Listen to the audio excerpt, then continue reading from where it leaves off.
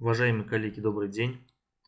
Э, сегодня я хотел бы представить вашему вниманию доклад на тему модели технологии поверхностно-пластического деформирования без применения средств охлаждающей жидкости, разработанный на основе применения программы ANSYS и эксперимента.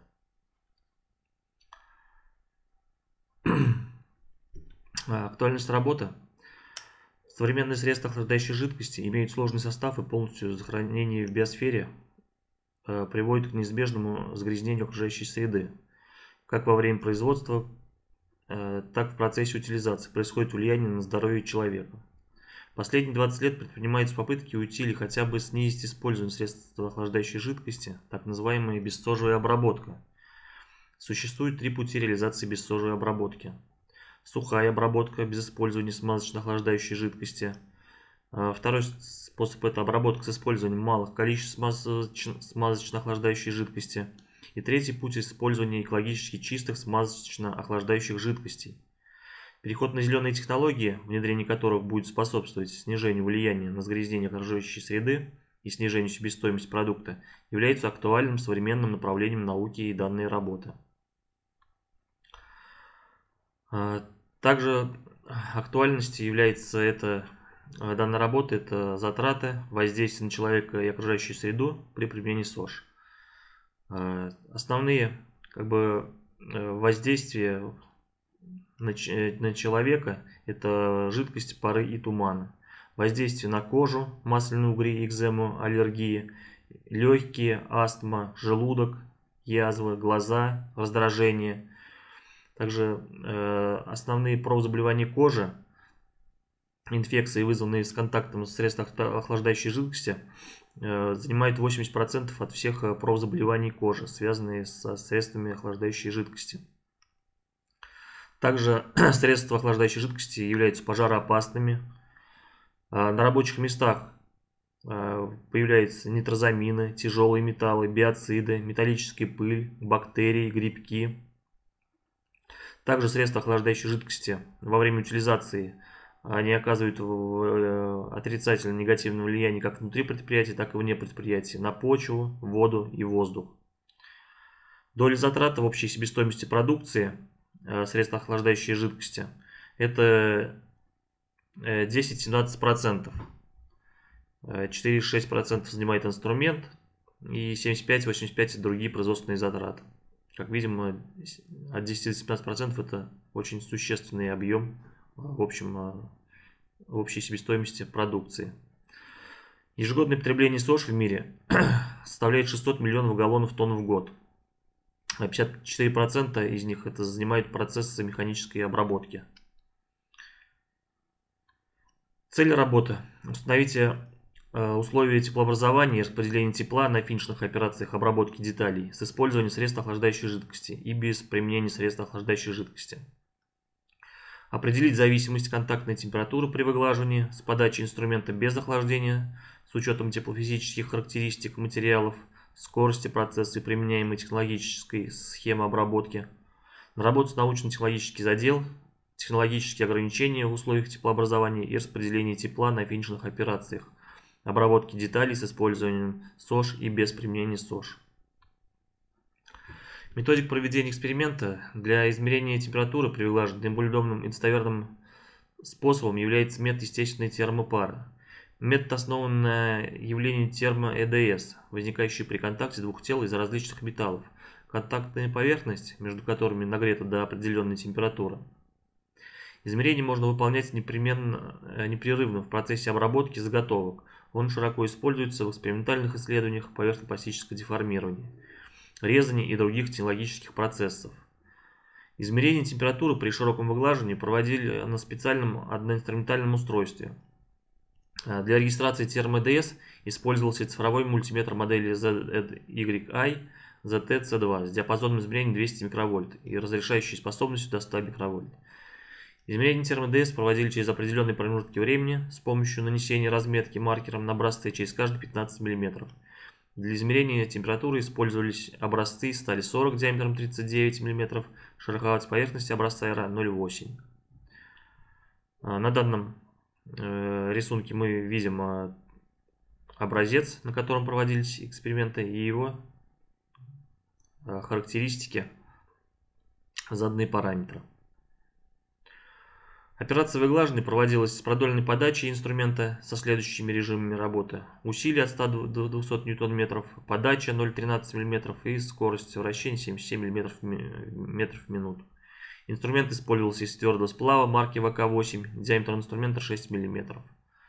Также здесь мы видим схему обработки выглаживания образца инструментом из твердого сплава ВК-8. Образец, инструмент. Обработка образца проводилась инструментом из твердого сплава ВК-8 в двух различных условиях. С использованием двух различных по своим физико-химическому составу СОЖ, также без использования СОЖ и на сухую. Использовались виды смазки, это без смазки на сухую, смазка РЖ8У без охлаждения и масло в экспериментах используется без полива путем тонкого нанесения. Охлаждения нет. На данном слайде мы видим схему устройства для измерения температуры при выглаживании инструмента из твердого сплава ВК-8. Устройство для измерения температуры устанавливалось на токарном станке РАМО. Устройство для выглаживания установили на суппорт станка и закрепили с помощью болтов 7, предварительно изолировав от станка подложками из диэлектрика. Устройство содержит замкнутую гидравлическую систему поджим инструмента, включает корпус, в внутренней полости которого размещен шток, несущий инструмент. К внутренней полости корпуса 3 заполненной жидкостью подключен манометр.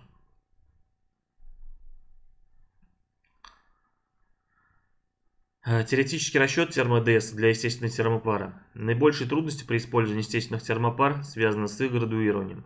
Стандартные градуировочные таблицы и э, пленом, как правило, не могут быть применимы вследствие отличия материалов от стандартных. Э, Цасхадзе, рассматривая электронные явления, возникающие в естественных термопарах, теоретическим путем получил формулу, которую мы здесь видим, справедливую для любой пары металлов, находящихся в контакте. Для стали 40 и твердосплава ВК8 значение коэффициента в указанной формуле составляет В42 э, и С1127. На данном рисунке представлен э, график зависимости для тарировки связи величины термодс с температурой нагрева пары стали 40 и твердый сплав ВК8 где мы видим температуру и термо-ЭДС. Результаты измерения температуры при выглаживании эксперимента проводился на токарном станке фирмы Рамо. Представлен на рисунке. Образец установлен в станок, где с левой стороны зажат кулачками. Патрон с правой стороны зажат задней бабкой. Образец изолирован станка подложками с диэлектрика капролона. Устройство для выглаживания, державку 7, установили на суппорт станка и закрепили с помощью болтов, также предварительно изолировав от станка подложками из диэлектрика. Выглаживающий элемент головки и образец соединены изолирующими проводами с цифровым мультиметром. Здесь мы видим устройство для выглаживания в резце держателя, изолированные в патроне. Устройство манометр. Образец токосъемником и наконечниками с в сборе. Держав инструмент с манометром, измерение усилия э, давления на вал экспериментальный. В эксперименте с применением СОЖ образец тонко смазан маслом RG8U путем нанесения тонкого слоя СОЖ, предварительно смоченный СОЖ губкой. Образец, здесь вот мы видим процесс нанесения масла. Для регистрации термодс используется цифровой мультиметр модели ZI, ZDY, ZTC2. Результаты экспериментов после статической обработки в сравнении. Здесь э, мы видим зависимость изменения температуры градусов по Цельсию инструмента от усилия P во время выполнения операции поверх пластической деформации с применением СОЖ, масло RG8U на сухую и исходной шероховатостью образца 1.28, 1.25 и 0.8. Здесь у нас температура градусов по Цельсию. И здесь э, сила, которая была оказана на инструмент. Здесь, значит, у нас э, видны э, результаты поверхностной форме с применением СОЖ исходной шероховатости 1.25. Здесь мы видим результаты без применения СОЖ исходной шероховатости 0.8 и а, результаты поверхностной формирования с применением СОЖ масла RG8U исходной шероховатости 0,8. Как мы видим на данном графике, то что э, поверхность пластического, выполнение операции поверхность пластического формирования с применением СОЖ путем тонкого ее нанесения как бы показывает э, лучшие результаты в плане температуры. Также проводили моделирование процесса технологии паропластического деформирования путем выглаживания.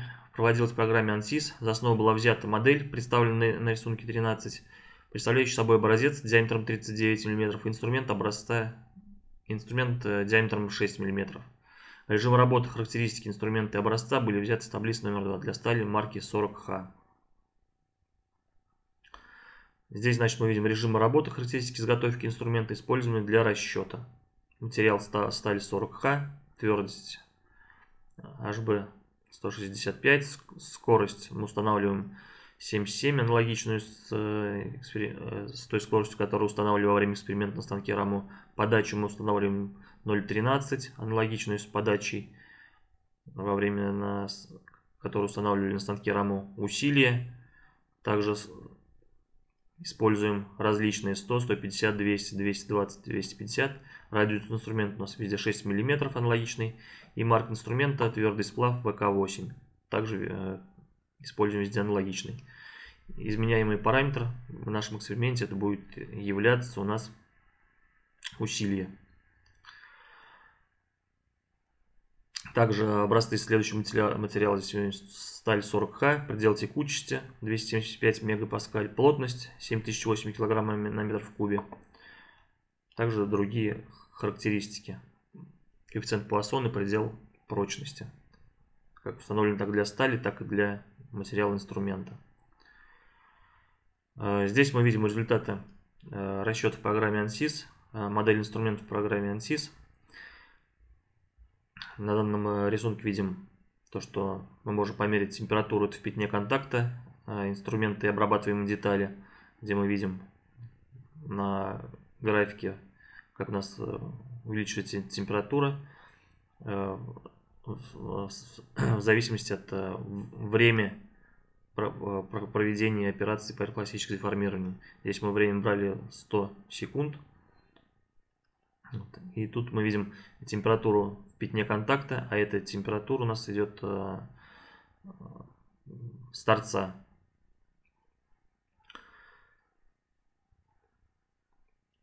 И на рисунке 16 э, представлен сравнительный анализ полученных температурных данных путем натурного эксперимента на станке РАМО и данных путем расчета в информационной системе ANSYS.